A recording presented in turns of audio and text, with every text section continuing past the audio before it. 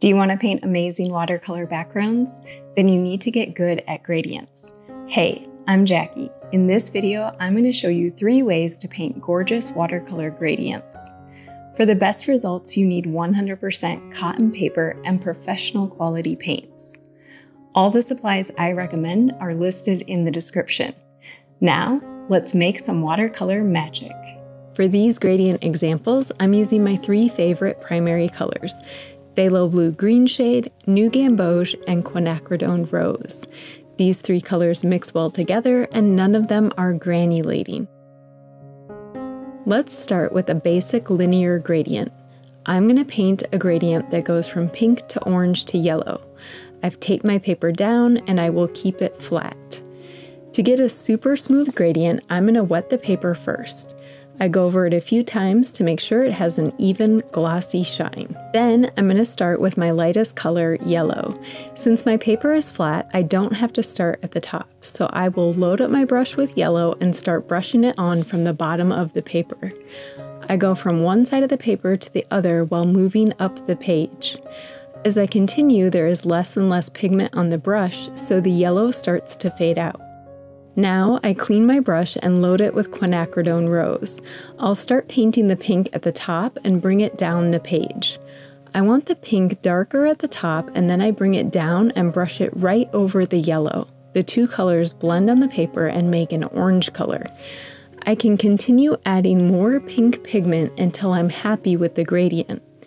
I'm careful not to add any additional water to the paper. I dry my brush and use it to soak up the extra water pooling at the top corner. Then I use a tissue to wipe off the tape edges.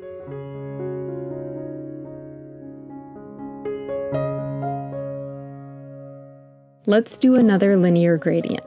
I've wet my paper again, and this time I'm going to tilt my paper so we can use gravity to help make a smooth gradient. I like to place my masking tape under the top edge of my board to create a gentle angle. I'm going to make this gradient blue to green to yellow. Because my board is tilted, I want to start at the top and work my way down. So in this case, I won't be starting with my lightest color. Instead, I'll start with a light mix of phthalo blue and bring it down the page. I don't want to make the blue too dark at the beginning. We'll come back to it after we add the yellow.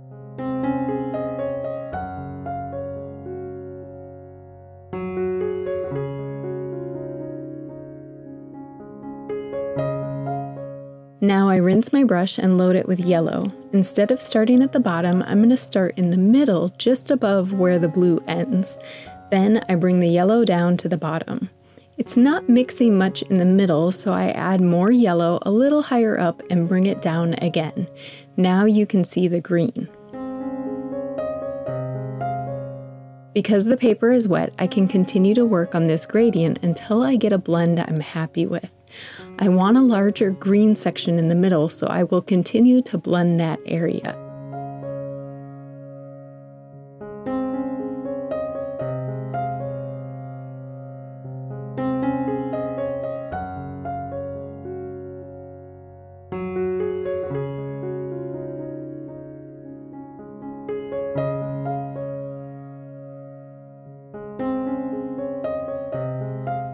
Since the board is tilted, the pigments move down the page creating a soft gradient.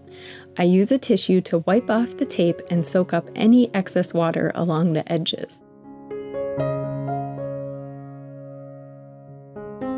Painting linear gradients is a fun way to get familiar with how your pigments mix. Pick two colors and blend them together to see what happens. Now let's take the basic linear gradient to the next level. We're going to create a reflected gradient where the gradient on the top of the page is reflected on the bottom. This is a super useful gradient to learn if you want to paint landscapes. For this gradient, I will keep the board flat. My paper is wet and has an even glossy sheen. I'm going to put in my lightest color first. So I load up my brush with yellow and put it right across the middle of the page. Imagine there is a horizon line and start there. That's the line we're going to reflect over. I'm going to angle the yellow down toward the left below the horizon. Then I'm going to angle it up toward the left above the horizon.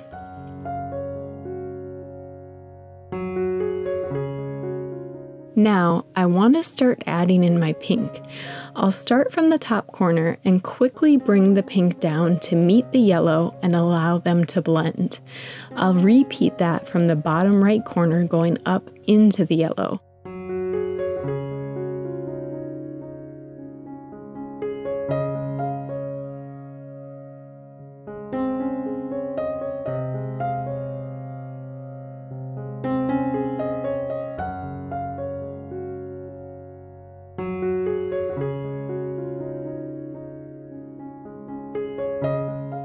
I always want to keep my paper evenly wet.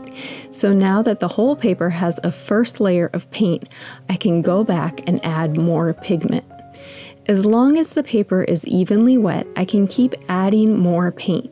When I switch colors, I wash off my brush and blot it dry before reloading with paint. As your paper starts drying, you need to be careful not to add any additional water.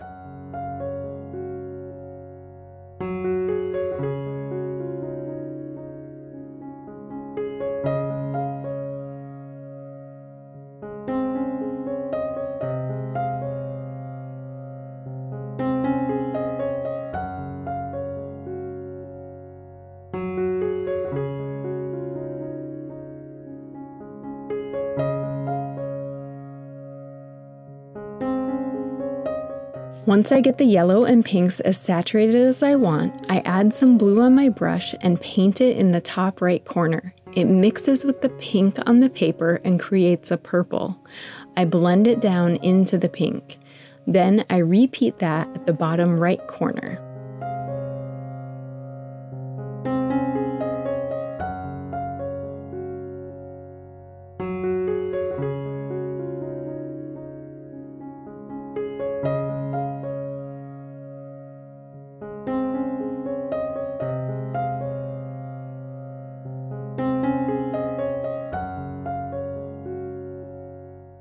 Now, I want to show you a great hack for smoothing out your gradients.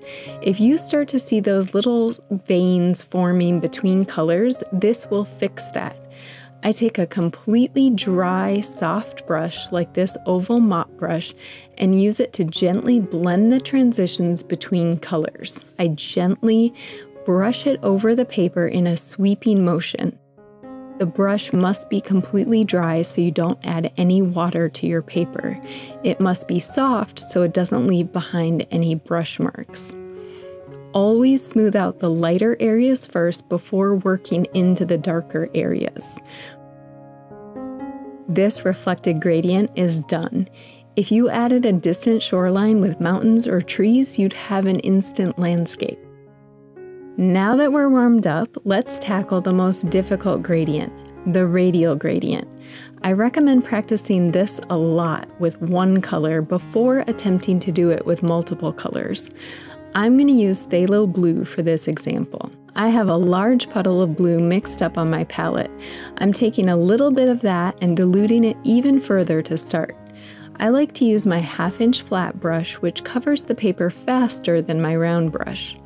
I start by painting a circle at the top of the paper, leaving the center white. I will build the gradient out from there.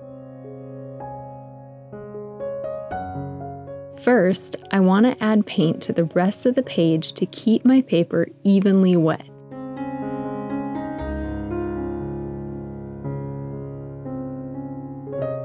Then I can continue to add more blue pigment to create the gradient. I continue painting larger and larger circles, getting darker and darker toward the edges of the paper.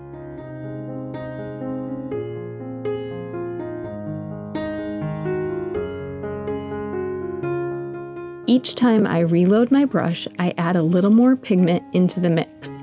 I don't add any extra water.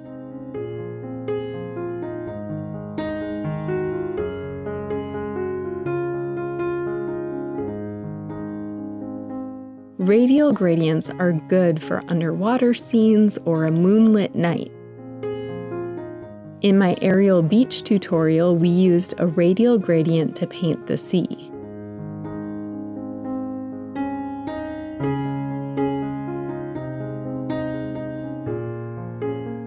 When you've finished adding paint, you can use the smoothing hack to blend the transitions. So I'm using my dry oval mop brush to gently blend the pigment on the paper where I see those little veins of spreading pigment. Phthalo blue pigment travels pretty far and creates a lot of those little veins. If I don't blend them out, you'll see them in the finished gradient. The oval mop brush is totally dry and I'm wiping it off frequently on a dry tissue. I'm carefully dusting the paper in circular motions to smooth out the gradient.